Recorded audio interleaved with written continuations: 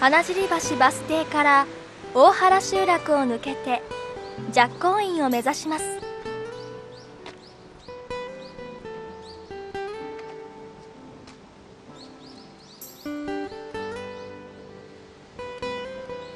高野川に架かる花尻橋を渡ってしばらく歩くと右側に赤い鳥居があります。その鳥居を右手に見ながら直進すると分岐点です。角に石碑が立っていて寂光院左へ18丁とあります。ここが大原集落の入り口でしょうか。ここからは舗装されてはいますが今までの国道の道とは違い自動車の交通量がぐんと減って安全な道です。体全体が緊張していたようでこの道に入った途端に何かに解放されたような気分です。左右に田畑の風景を見ながらののんびりウォーキングの始まりです。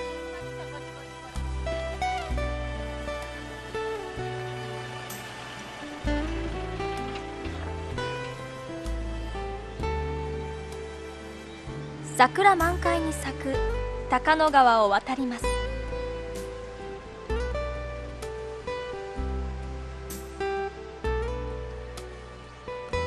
すると前方にこのシリーズでは初めてのウォーキング用の道しるべの登場です。その道しるべの名は京都一周トレイルとあります。京都一周トレイルとは京都の東伏見稲荷から比叡山を経て西北の清滝に至る全長60キロのハイキングコースです。ここがそのコースの一部というわけです。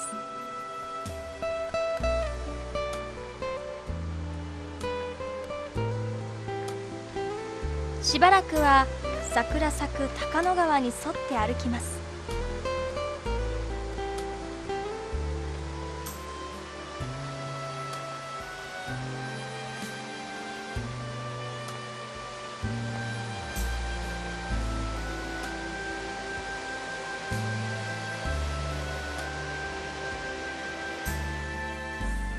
すると舗装された道と合流します。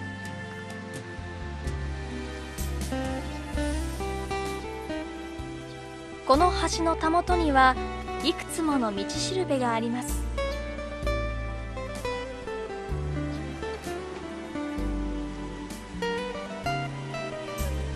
寂光院には右2.1キロとあります。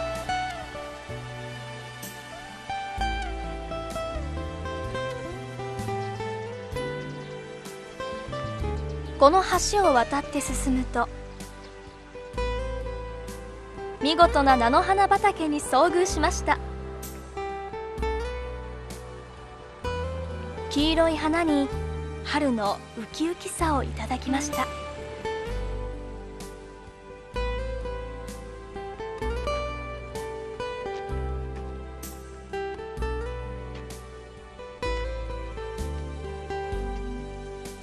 これも立派な石塔です。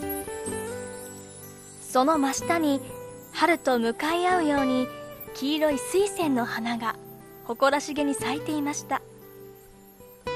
この地点から寂光院までは1.4キロという道しるべ。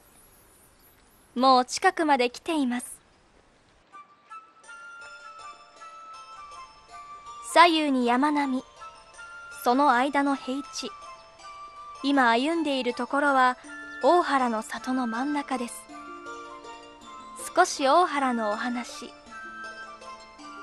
この地は古くは小さな原と表記され小原と言われていました。平安京と若狭湾を結ぶ若狭街道の中継地として栄えまた延暦寺に近いことから三千院寂光院などの天台宗系の寺院が建立されました。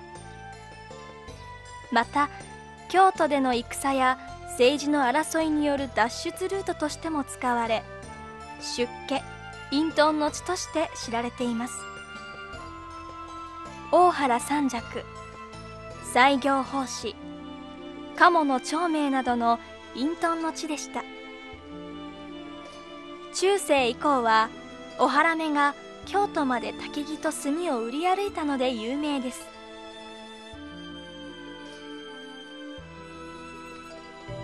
のんびりと大原を歩いていると左手に何やら標識がありました。何々大原の里展望特別招待席とあります。その招待席に招かれてみました。丸太半切りのベンチの前に手作りの説明板です。比叡山水井山大美山と書かれています。確かに山々と大原の里が一望できました。なかなか素敵な心遣いです。展望台を後にしてしばらく進むと分岐点です。左若光院です。ちょっと寄り道をしました。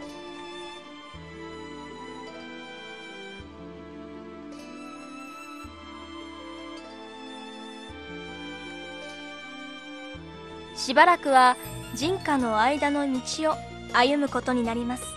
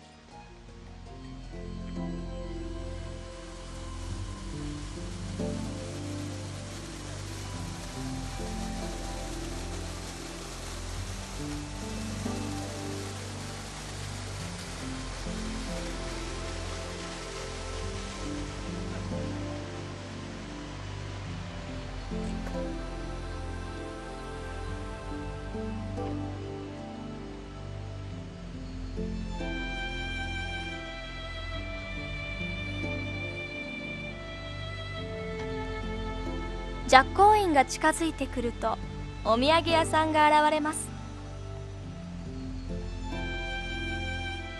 こちらは大原温泉今日の民宿です。右側にも大原温泉のお宿です。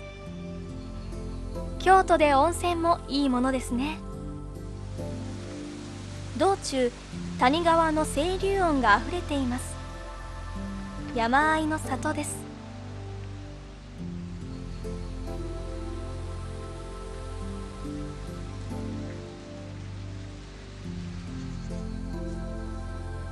清流音を聞きながら進み左に京漬物のお店に気を取られているとちょうどその前が寂光院の上り口でした。